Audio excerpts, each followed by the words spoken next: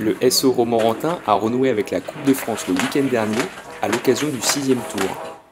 Les joueurs de Yann Lachuer ont décroché leur qualification en l'emportant 3 buts à 1 face à l'USM Montargis. On a été appliqué, sérieux. Voilà, je pense que la philosophie du match, euh, on a eu la possession et puis euh, l'équipe de Montargis était, venue euh, pour, pour nous contrer, qu'il l'a très bien fait. Voilà, mais j'ai senti une sérénité du groupe.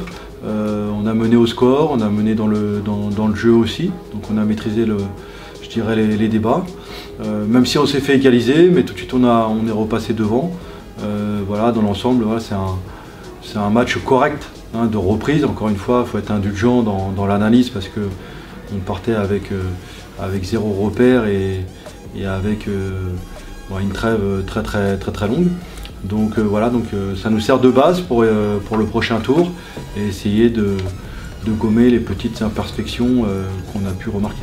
Là, il y a une deuxième inconnue, c'est comment on va récupérer de ce premier match 90 minutes sur un terrain gras, euh, voilà, peut-être qu'il faudra un petit peu plus de temps. Donc euh, voilà, le leitmotiv entre guillemets de, la semaine, ça va être de, récupérer au mieux hein, voilà, et de refaire un petit peu de, jeu et de, garder de la fraîcheur pour le, pour le prochain match.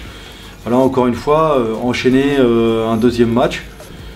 on ne sait pas comment ça va se passer sur le plan, sur le plan physique. Pour leur deuxième match, les Romorantinais recevront ce week-end le Tour FC, pensionnaire du National 3, pour le compte du 7 tour de la Coupe de France. Une épreuve qui revêt une importance particulière pour leur entraîneur. Vous savez, la Coupe de France, c'est, euh, c'est, une compétition un peu mythique. Euh, on met le, monde pro et le monde amateur. Voilà, j'espère qu'on arrivera à, sortir de la région, de la région centre pour pouvoir euh, goûter à ces, moments rares et, intenses. voilà, mais pour ça, il faut, se qualifier.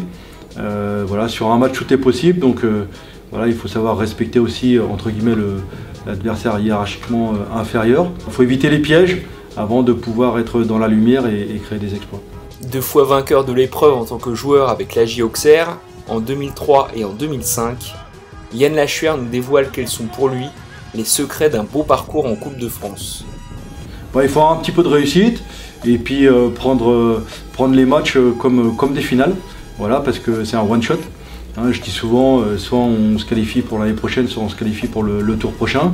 Il n'y a pas de rattrapage, donc il faut, il faut répondre présent le jour J, voilà, avec euh, évidemment les, ingrédients de, combativité, euh, de connexion voilà, et d'altruisme. je pense que quand on réunit tout ça, on a, je dirais, un maximum de chances de, passer. Après, voilà, il faut aussi un brin de, un brin de réussite. Euh, voilà, moi j'en ai gagné deux, j'en ai gagné deux dans les arrêts de jeu. Je suis passé euh, des fois récrac au penalty. Voilà, c'est toujours euh, semé d'embûches hein, les, parcours de, de Coupe de France, mais c'est pour ça que l'histoire est belle.